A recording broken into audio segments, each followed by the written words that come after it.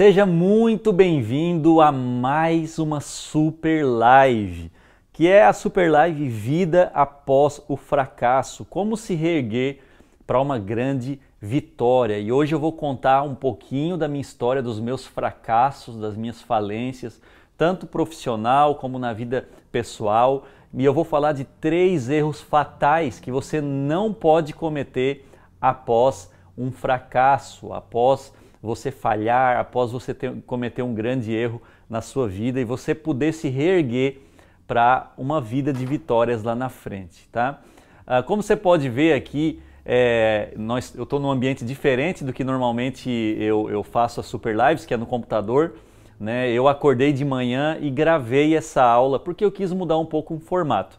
É, as super lives não vão ser sempre no mesmo formato, de vez em quando eu vou gravar um vídeo uh, e transmitir uma, uma gravação em outro formato para a gente mudar um pouco, ter um pouco mais de dinâmica e eu decidi então preparar o ambiente para essa aula, essa super live especificamente, eu abordar nesse formato e fazer um experimento para ver se vocês gostam também.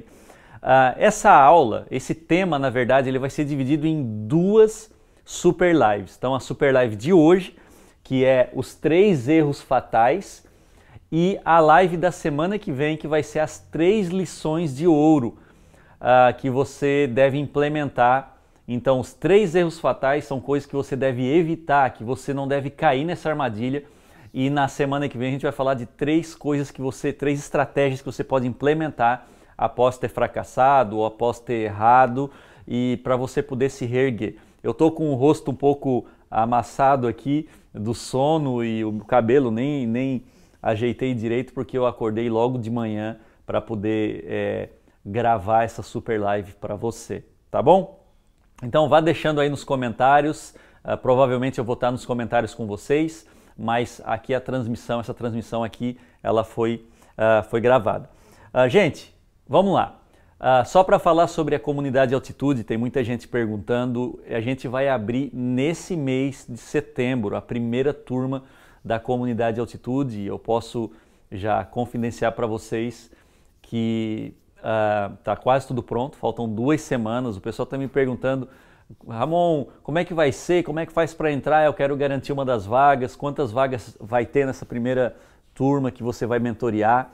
Gente, tudo isso já estou preparando. Em duas semanas vou, vou começar a divulgar para você. Já tem bastante gente na lista de espera. Mas hoje eu quero me concentrar aqui no conteúdo. Vai ser um conteúdo direto, prático.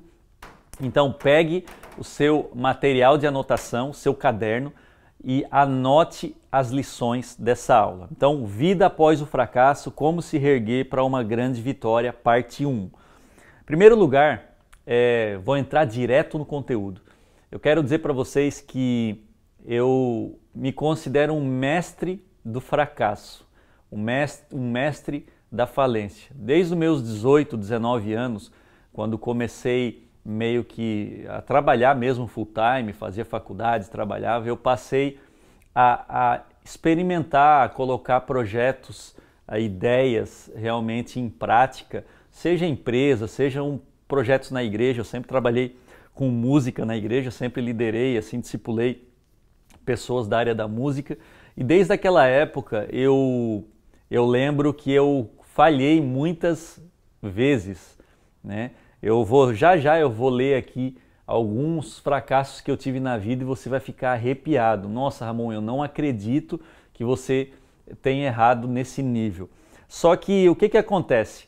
Eu aprendi na minha vida e aqui está a primeira lição a errar rápido e aprender com os erros.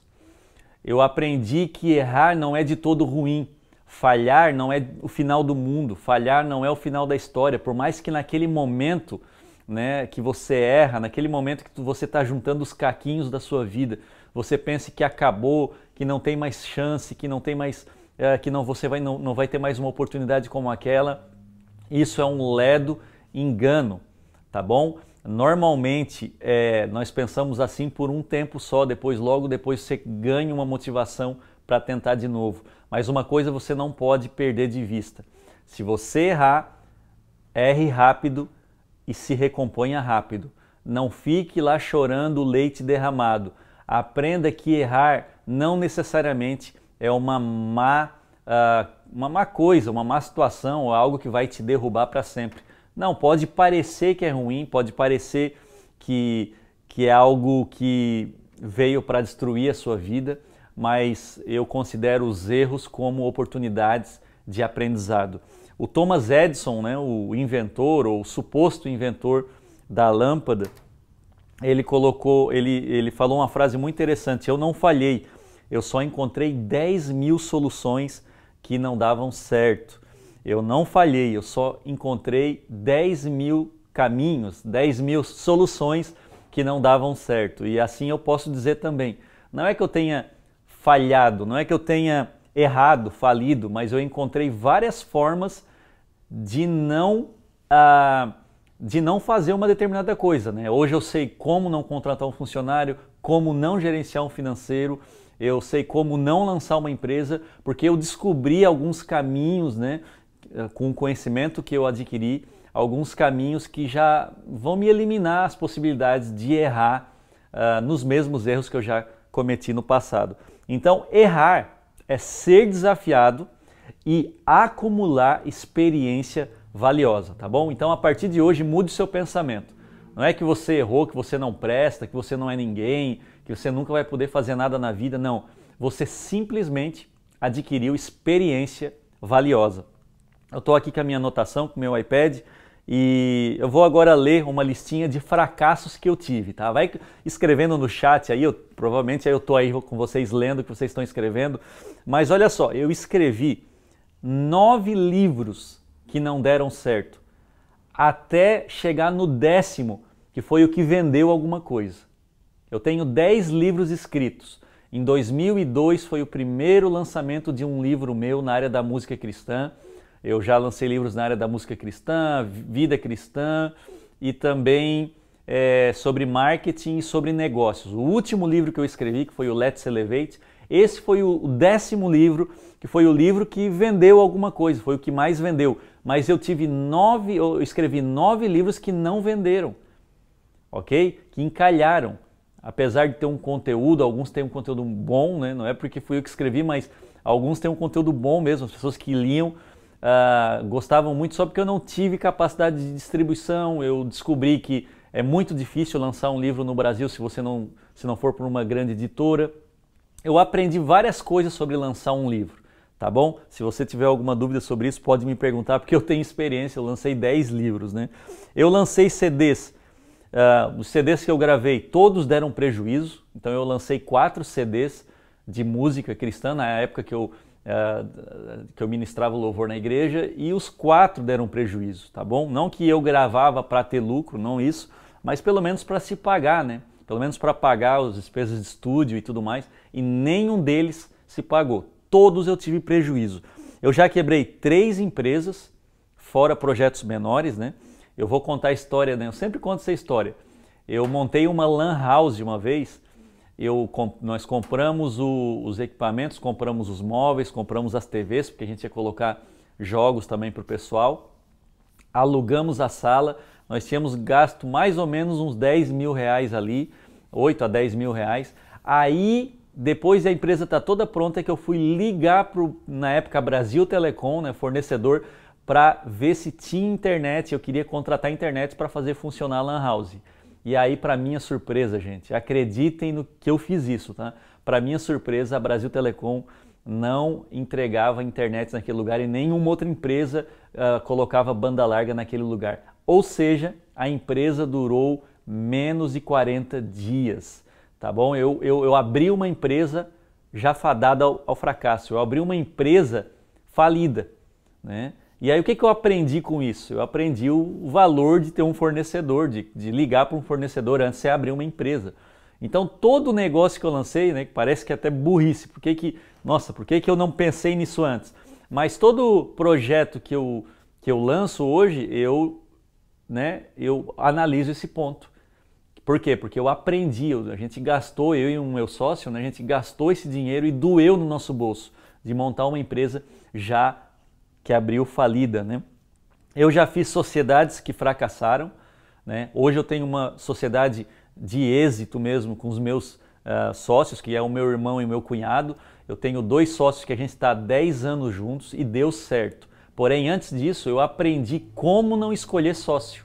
Porque eu tive vários sócios, vários parceiros na minha vida e eu só me ralei. E eles também, tá? Eles também só se ralaram comigo. Porque foram sociedades, não estou dizendo que eu era certo e eles errado, mas sociedades que não deram certo. A gente não tinha a, me, a mesma.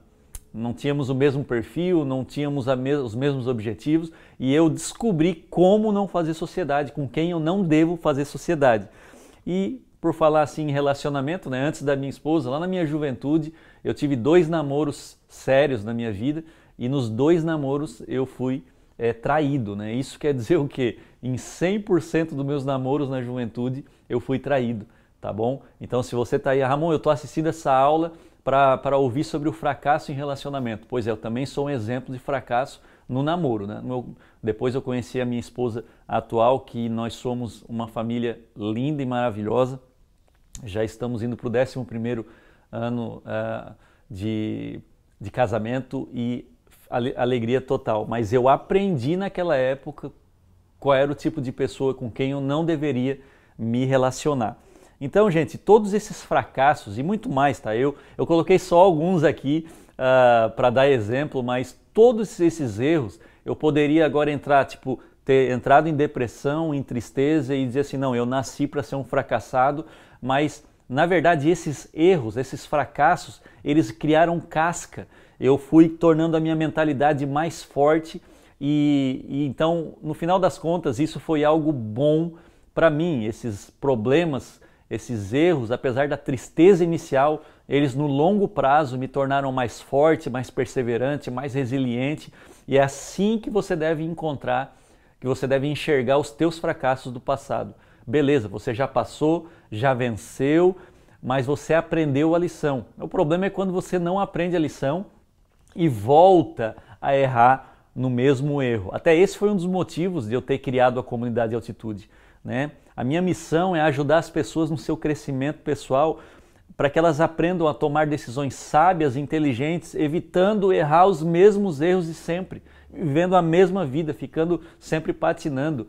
Né? Quando eu me dei conta no aconselhamento, nas mentorias que eu estou dando, eu me dei conta que os as pessoas cometem sempre os mesmos erros continuamente e elas adquirem, elas colhem os mesmos frutos. Foi aí que eu tive a ideia, né? Gente, eu vou montar uma comunidade onde eu possa ministrar aulas como essa, que vão te trazer sabedoria, inteligência, conhecimento, para não errar mais nos mesmos erros, tá bom?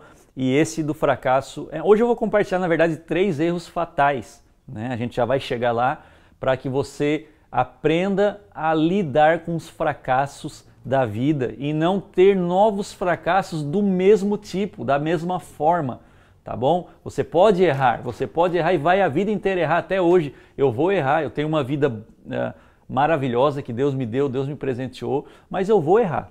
Eu vou fracassar, eu vou lançar alguma coisa que não vai dar certo, eu vou é, ter alguma amizade que, que vai terminar em nada, ou eu vou começar alguma coisa que não vai dar beleza, mas são erros novos, são erros num outro nível. Eu não vou ficar errando no que eu já errei. O Nassim Taleb, que é um grande escritor e pensador da atualidade, ele traz um conceito que eu quero que você anote aí, tá? Ele traz, na verdade, três conceitos, que é o conceito de fraqueza, de força e de antifragilidade. Então, fraqueza, força e antifragilidade. O que, que quer dizer algo fraco? Né? Um objeto que é fraco. Por exemplo, vou até tomar uma água e já usar essa água como exemplo. Ah, algo fraco é algo que, sob pressão, ela quebra, ela é prejudicada, ela é destruída. Né? Então, assim, por exemplo, se eu pegar essa, essa garrafinha aqui e começar a amassar muito, ou passar tesouro, ou pegar uma faca, eu vou, é, eu vou uh, estragar esse material. Né? Um, vamos dar um exemplo de uma taça de cristal. Se você pegar uma taça de cristal, uma vez eu estava no restaurante quando eu era pequeno, bem pequeno, acho que eu devia ter uns 9 anos, e eu fui num restaurante mais chique, assim, com os meus pais, a gente estava viajando numa cidade vizinha, e os meus pais uh, nos, lev né, nos, levaram os amigos deles e nós fomos a um restaurante chique. Lá tinha taça de cristal, colocaram uma taça de cristal e eu tinha 9, 10 anos, não lembro direito a idade. e eu tomei naquele copo, né? Fui pegar o copo.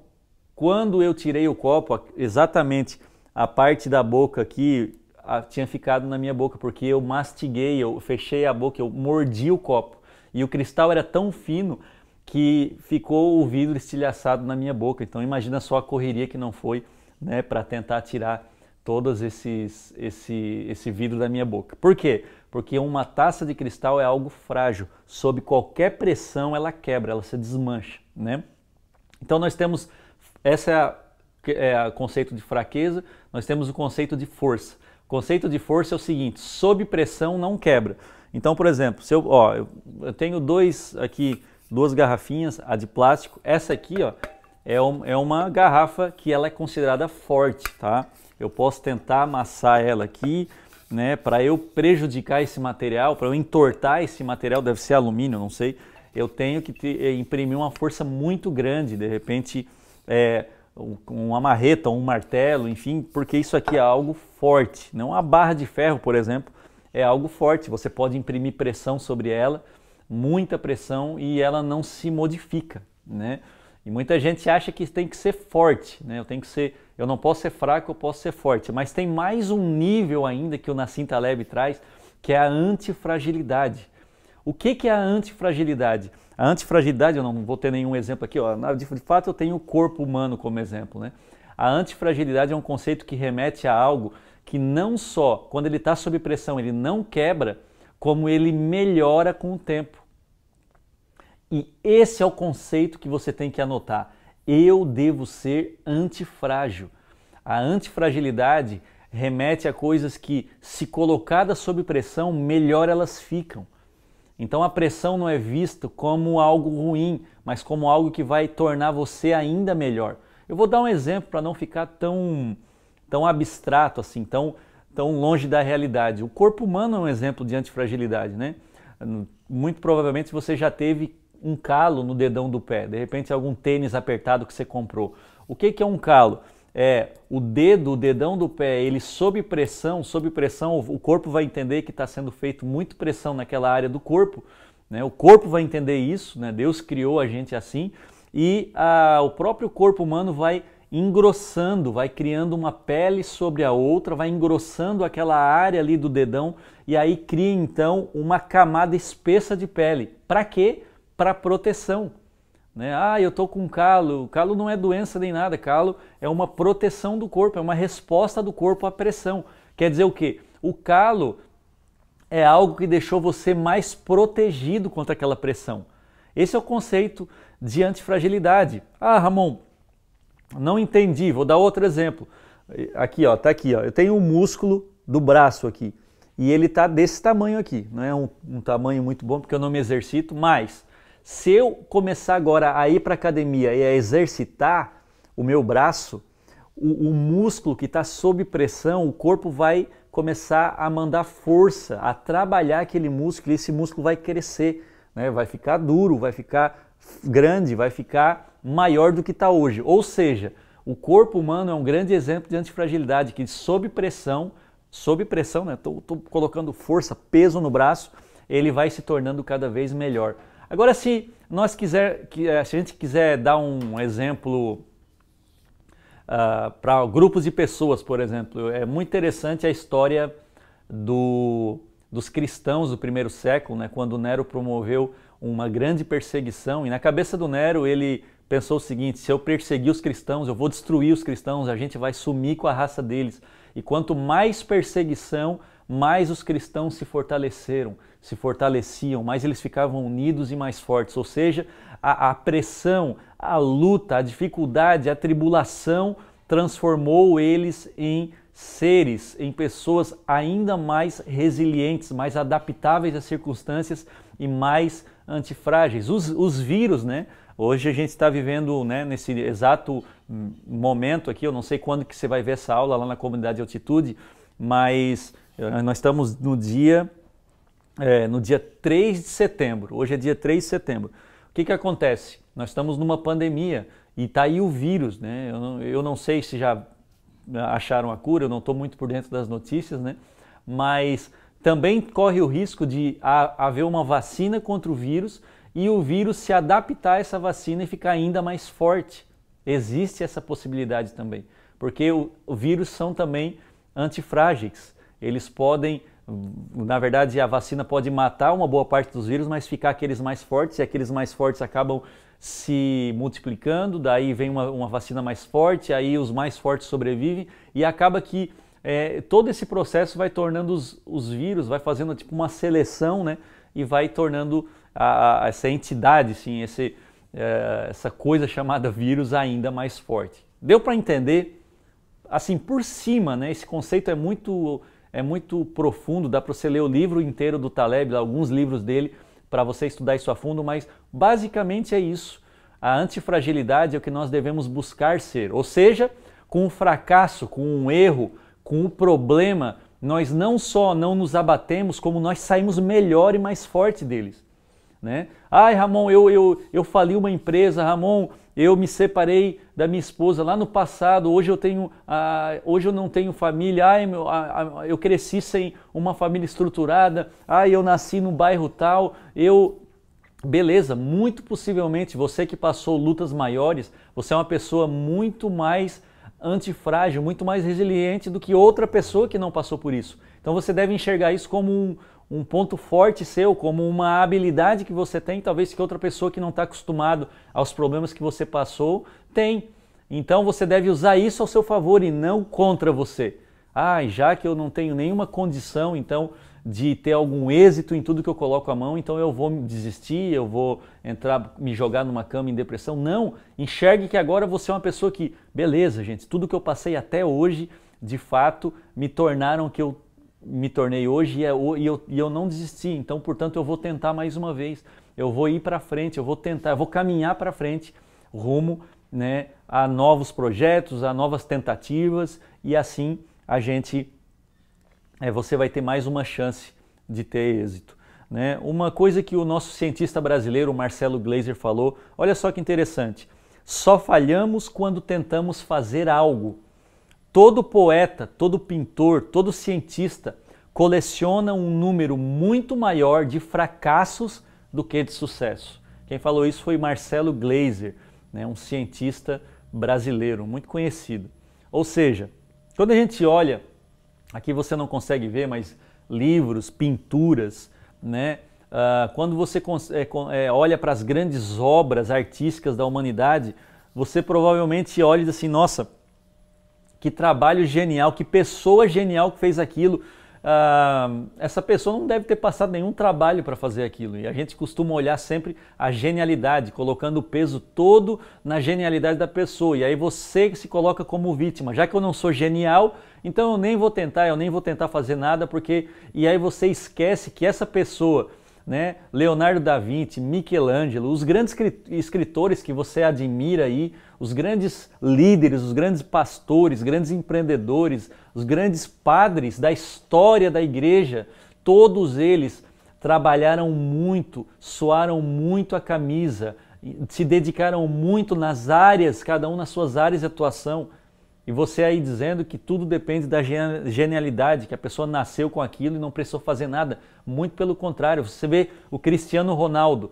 Cristiano Ronaldo, beleza, você pode dizer que ele nasceu com uma propensão, né, com uma inclinação para o esporte, para o físico, para o futebol, mas eu, eu li a história do, do Cristiano Ronaldo, ele desde pequeno, ele ficava seis horas por dia chutando a bola contra a parede era, o, era, o, era um hábito, era um, era um hobby que ele tinha, de pegar a bola quando ninguém mais queria jogar bola com ele, porque ele já jogava bola o dia inteiro, e quando todo mundo ia embora, ele ia para casa dele, para a garagem, e ficava chutando a bola com a parede. E com isso ele foi adquirindo habilidade, ele foi melhorando a habilidade dele até que ele se tornasse o Cristiano Ronaldo. Então você não pode dizer é, que o Cristiano Ronaldo é o que é porque ele nasceu assim. Não. Vamos para os três erros fatais. Eu não quero ficar muito tempo, uh, não quero ocupar muito seu tempo, né? Eu quero uma aula objetiva. Nós vamos para os três erros fatais que eu cometi e que você não precisa cometer. Eu só quero chegar um pouquinho para o lado aqui para eu ficar bem centralizado, tá? Primeiro erro: não saber quando frear e quando acelerar. Anota aí. O primeiro erro fatal pós-fracasso. Você fracassou, você se sente fracassado, ou você tem uma vida agora que você acha que você nunca vai acertar mesmo, que beleza? É, escuta o que eu estou dizendo. Ao dirigir um carro, você deve usar o freio e o acelerador. Se você dirige, você sabe do que eu estou falando. Se você errar o freio ou o acelerador, se você errar, se você acelerar na hora errada ou frear na hora errada, você pode causar uma tragédia, um acidente, inclusive causando óbito, morte de alguém, ou inclusive a sua mesmo, tá? Então vamos supor que você está lá na BR e o pessoal freia e aí você, ao invés de você apertar o freio, você aperta, aperta o acelerador. Você vai bater no carro. Ou de repente, era para você acelerar e você freia bruscamente, porque errou os pedais ali. Aí vem um caminhão atrás, né, ou um carro e bate atrás de você e causa um acidente. Isso me ensina, essa analogia me ensina que quando eu estou num projeto, quando, e quando eu falo projeto, tá gente, não é projeto profissional só, é todas as áreas. Um relacionamento, um namoro pode ser um projeto, é, uma nova amizade é um projeto, você abrir um grupo de estudo bíblico na sua casa é um novo projeto, você abrir um ministério na igreja, você se voluntariou para uma ONG, esse é um projeto, é o seu projeto de vida, tá? Então, quando eu falar projeto, vale para tudo, seja uma empresa, seja um novo emprego, qualquer coisa.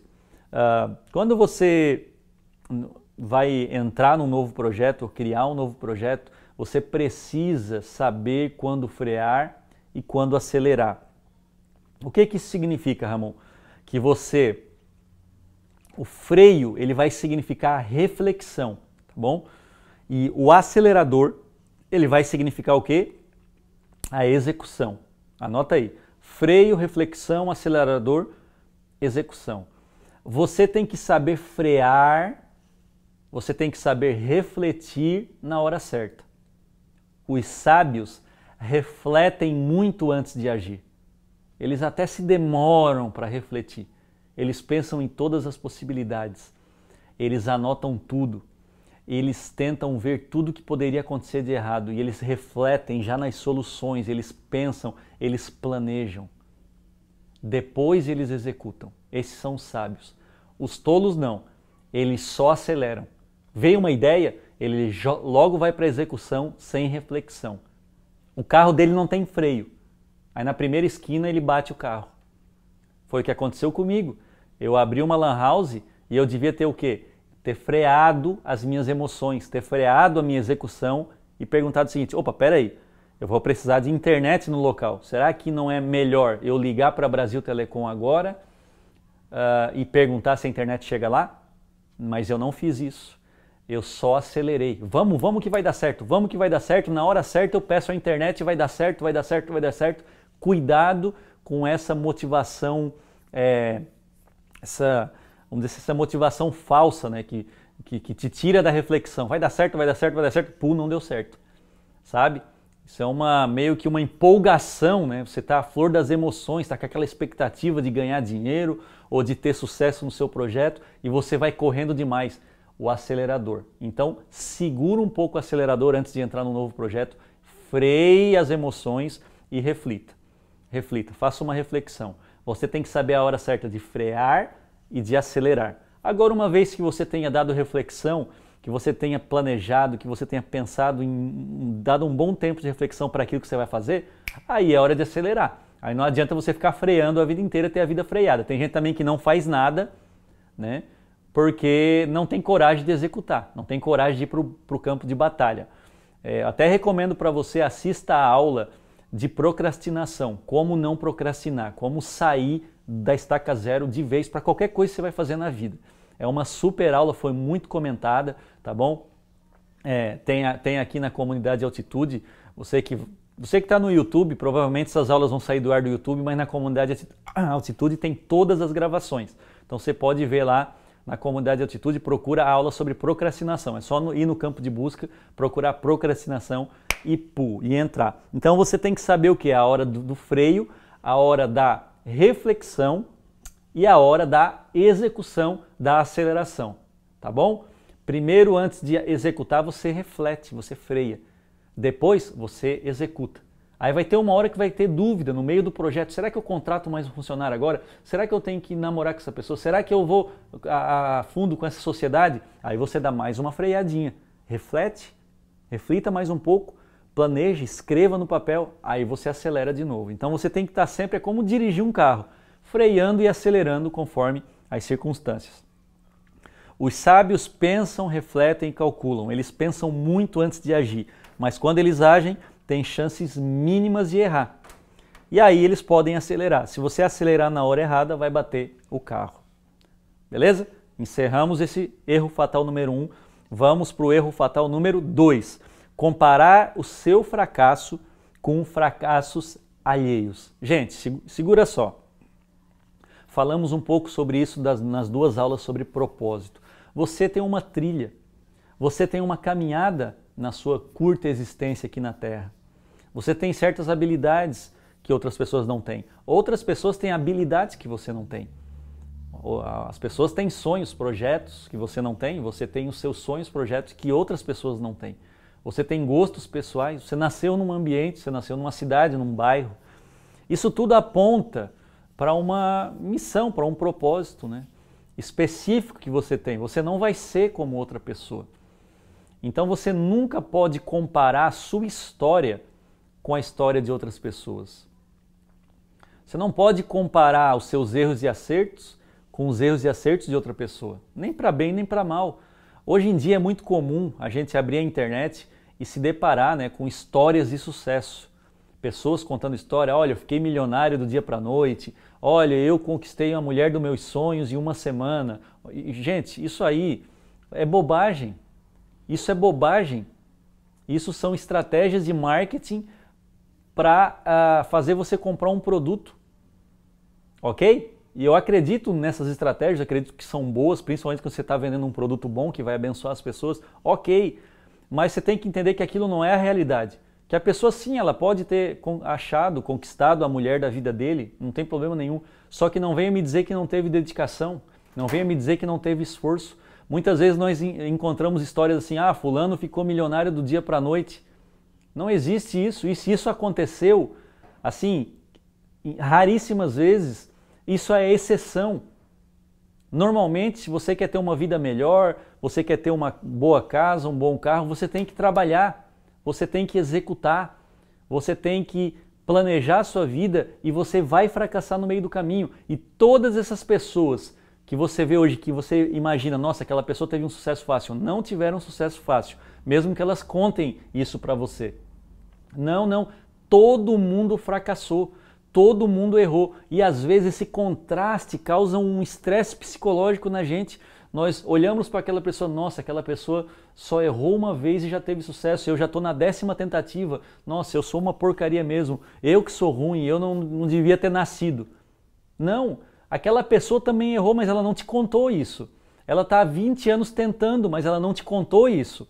Aquele vídeo que você viu, viu de algum produto vendendo na internet, não é aquilo que. Não foi exatamente assim que aconteceu. Beleza, a pessoa tem dois, três minutos para contar uma história. Eu conto a minha história para as pessoas entrarem na altitude. É a minha história e eu não consigo revelar tudo que eu errei. Mas foi 20 anos de jornada, de, de trajetória. Eu não posso enganar vocês, sabe? Então você nunca pode se comparar se comparar o seu hoje com, com o hoje da pessoa e você não sabe o que a pessoa passou. Você nunca deve é, é, né, é, olhar para alguém assim, por exemplo, a pessoa teve em três anos ela conseguiu montar uma empresa e, estourar, explodir no bom sentido, né? Ela, ela conseguiu faturamento, ela conseguiu dar um jeito na vida dela. E você já está há 10 anos tentando, você se compara. Por que, que ela conseguiu em 3 e eu em 10? Ou pior, você pode se comparar também por um orgulho próprio, né? Você pode se comparar com alguém que está numa situação pior que você. Nossa, graças a Deus que, olha, eu tive, consegui ter sucesso nisso aqui em três anos, mas olha lá o fulano coitado que ainda não conseguiu. Você não pode nem se comparar com quem está em cima, nem com quem está para baixo, com quem está um pouco mais na frente, com quem está um pouco mais atrás. Está todo mundo caminhando a sua jornada.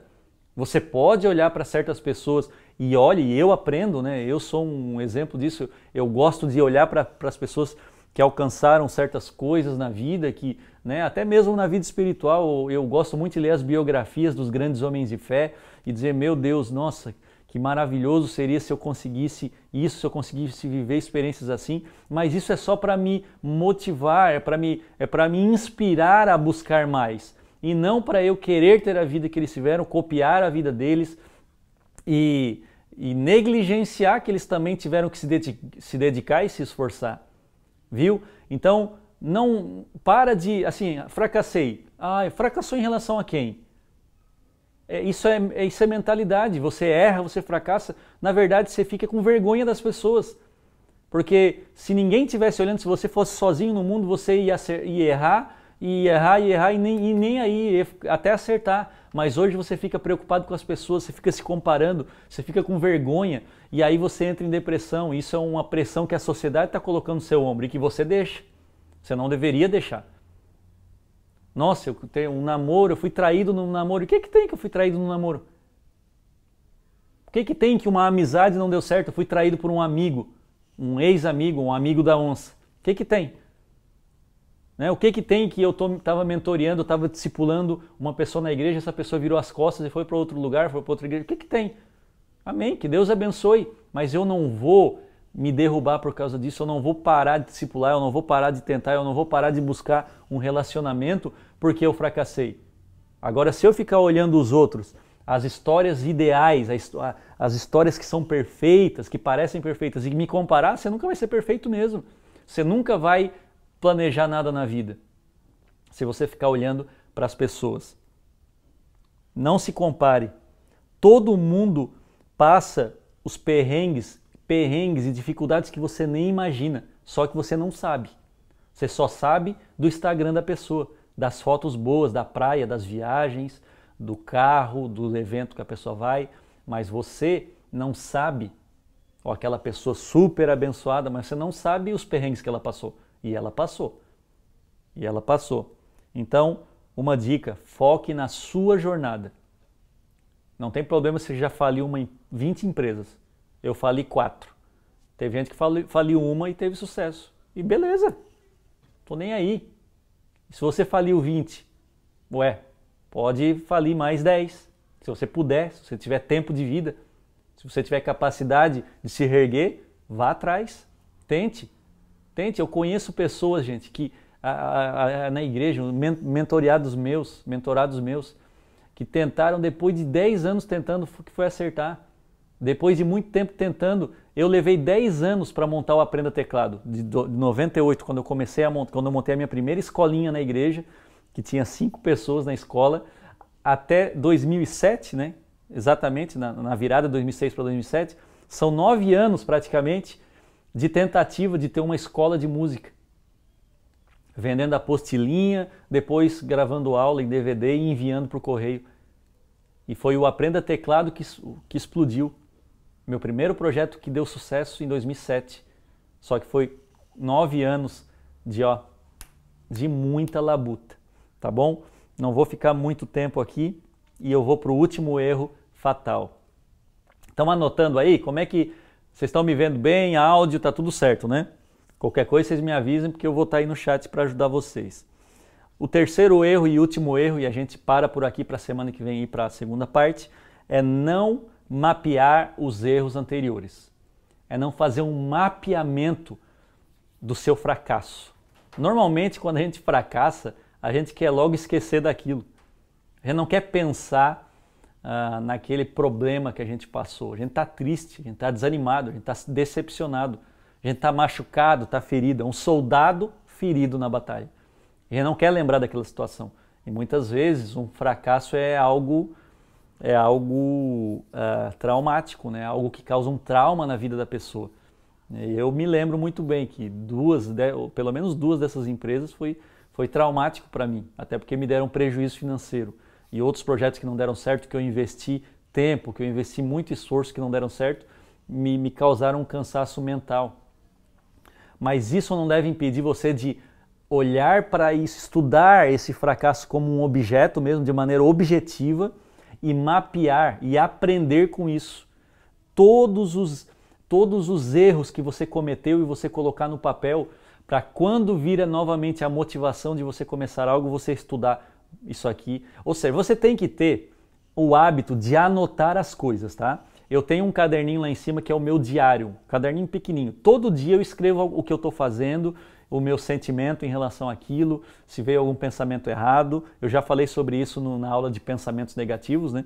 Anoto, hoje eu estou fazendo isso, eu vou tentar abrir as vagas da altitude, mas eu não sei o que vai acontecer, eu estou com a expectativa, eu estou com um pouco de medo, tal. Eu anoto, porque daí quando daqui um ano eu vou pegar o meu diário, eu vou lendo, nossa, olha só qual era o meu sentimento antes de abrir esse projeto, olha só aonde que eu errei, ó, foi aqui que eu errei. Quando você cria um mapa, você a, a, aprende a ter o seu diário de bordo, você começa a acumular inteligência, você começa a acumular sabedoria sobre aquele objeto chamado fracasso na sua vida. Deixa eu só dar alguns exemplos. Com os livros que eu lancei, eu aprendi que no Brasil não se vive como escritor. Eu precisei lançar 10 livros para saber isso. No primeiro já tava, já deu a dica, né? Mas eu pensei, não, pode ser que seja o livro, o título, enfim, não tem mas eu descobri isso é no mundo inteiro que não se vive como escritor. Se você não for o Paulo Coelho, se você não for um grande escritor mundial, você não vive de direito autoral nem de livro impresso, tá bom? Eu aprendi isso. Então, se eu quiser ter uma empresa de livros, eu já sei isso.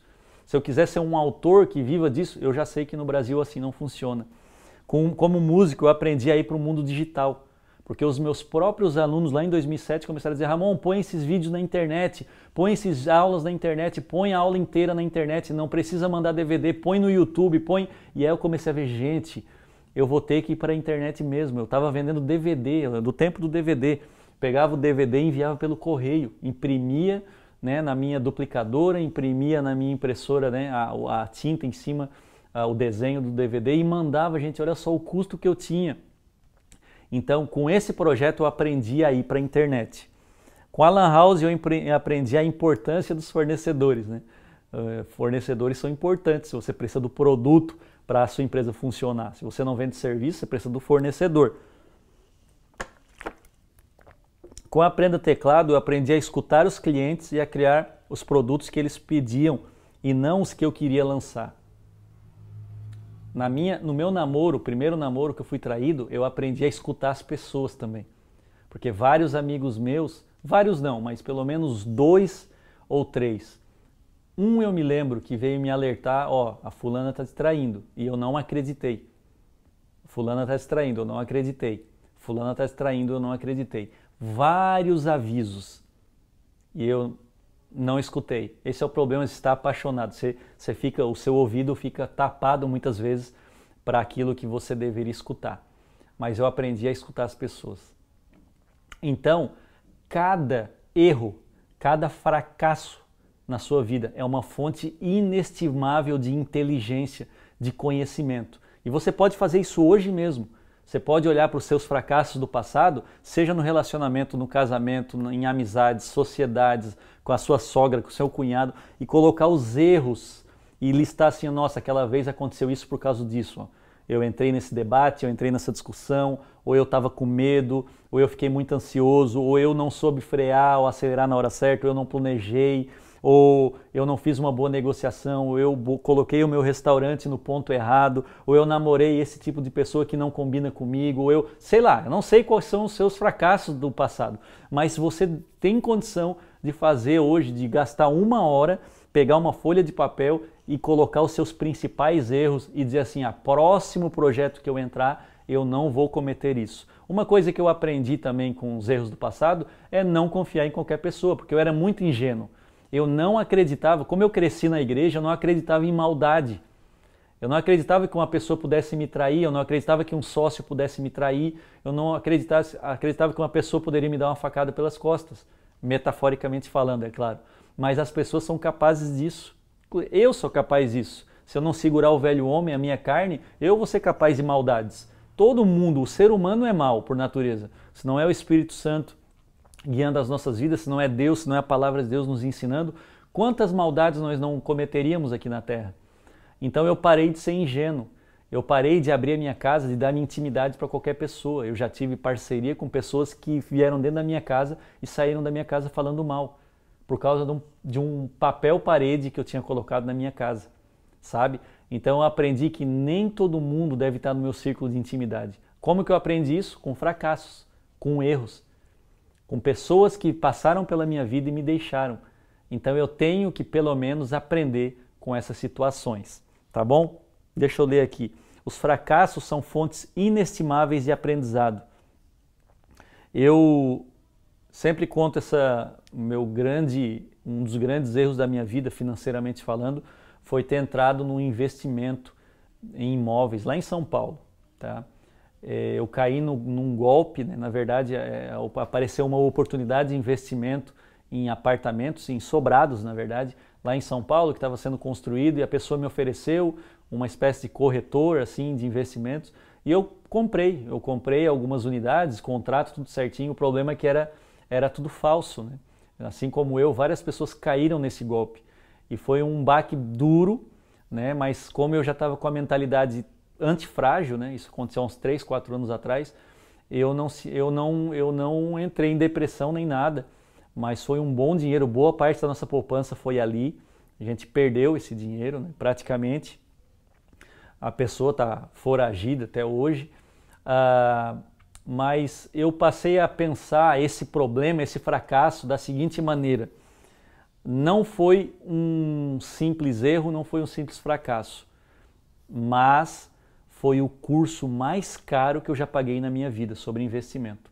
Então hoje eu sei, eu sei como identificar uma pessoa, uh, um golpista, porque era um golpista de alto nível, tá? Uh, um golpista de alto nível. Talvez você esteja aí vendo esse vídeo e você que é dessa época do marketing digital, você vai lembrar da pessoa. Uh, eu, eu, eu aprendi a descobrir os gatilhos mentais que as pessoas usam para aplicar golpes. Eu fiquei mais alerta e hoje dificilmente eu confio em alguém assim, dificilmente. Posso até perder uma oportunidade de investimento futuro por não acreditar tanto nas pessoas, porque hoje eu sou bem cético em relação a oportunidades daquele tipo e apresentadas daquela forma. E isso é sabedoria. E isso é o, o curso mais caro que eu já paguei na vida. Então, enxergue os seus erros na verdade, né, mapeando os fracassos, mapeando todos os erros, como um curso que você pagou. Mesmo que você não tenha gasto um real, mas você investiu seu tempo, investiu esforço, dedicação, você ficou noites sem dormir por aquele projeto. Enxergue isso como um pagamento por uma inteligência, um pagamento por um conhecimento, um pagamento por uma experiência valiosa que faculdade nenhuma vai te dar, que curso nenhum vai te dar. Nada melhor do que você aprender com a vida. Nada melhor do que você aprender com a experiência, sentindo na pele a dor do seu fracasso. Então é algo bom, não é algo ruim. Tá bom, gente? Deixa eu ver se eu não. Então tá aqui, só para finalizar, não mapear os erros é um desperdício. Se você deixou os erros no passado e não quer nem tocar neles, você parou de parou de ter inteligência, parou de aprender com que você já errou. Não deixe de mapear os seus erros, tenha um arquivo de lições para os próximos projetos. E eu vou parar bem aqui no meio desse tema, porque semana que vem nós vamos abordar as três lições de ouro, que agora é como se comportar, já se preparando para o seu novo projeto, para o seu novo, seja lá projeto que seja, como que você vai, vai gente, só um detalhe, tá? Na, na altitude a gente vai ter uh, vai ter uh, aulas sobre planejamento, sobre planejamento de vida, sobre planejamento financeiro, planejamento familiar, vai ter sobre tudo isso, tá? Uh, só que eu estou falando esse tema, cada tema desse vai dar uma aula específica. Vamos supor, eu quer, você quer, é, só quero planejamento financeiro, Ramon, quero entender como é que você planejou suas finanças, as suas poupanças, seus investimentos para que você alcançasse a independência financeira vai ter uma aula só sobre isso, aí vai ser uma aula mais técnica, mais passo a passo mesmo.